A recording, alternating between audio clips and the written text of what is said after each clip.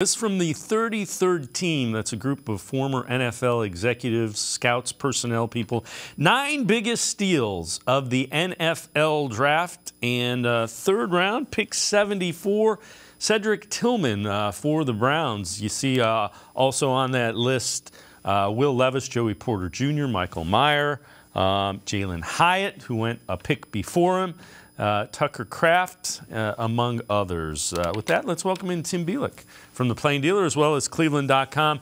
Tim, I know a lot of Browns fans wanted Jalin Hyatt, um, who it appears the Giants traded up to uh, make sure the Browns couldn't take.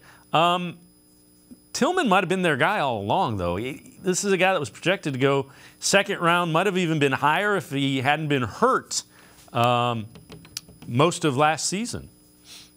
Yeah, I mean, going into that 2022 season, uh, you could argue that he was Tennessee's best receiver. I mean, he just come off a thousand yard season for the Volunteers. I think it was 12 touchdowns he had that year, and then you know, 2022 he gets hurt, has that high ankle, high ankle sprain, misses six games, has surgery on it, and that kind of opened the door for for Jalin Hyatt to essentially become Jalin Hyatt and become the player he is. So I think in that way, every a lot of people kind of forgot about Cedric Tillman. You know, outside of the draft experts, you know, those guys that still had him the second round. He's such a different player from Jalin Hyatt. You know, looking at his measurables, you know, his height, weight, some of the ways he plays, similar to Tee Higgins of the Bengals. Now, if he can become anywhere close to what Tee Higgins is, this is a this is a steal of a pick. But I think what the Browns are hoping for is a guy who uh, can play the perimeter, can win those 50-50 balls. He's got height, he's got incredible hands.